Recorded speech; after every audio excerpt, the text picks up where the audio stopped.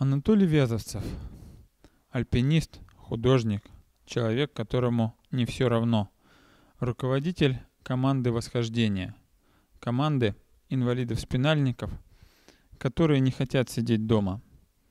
Людей, уставших от а, положения на одном метре от земли. А, людей, которые по-прежнему хотят видеть красоту природы, красоту этого мира. Людей, которые бьются за то, чтобы выйти за рамки своего пространства, своей болезни, своей жизни. Люди, которые хотят делать то, что иногда не под силу а даже здоровым. Путешествие по Колыме, а, по краю золота, диких зверей, лагерей по этому суровому и красивому миру. У ребят есть созданные ими же коляски, есть оборудование, но не хватает на то, чтобы долететь до этого сурового, но удивительного края.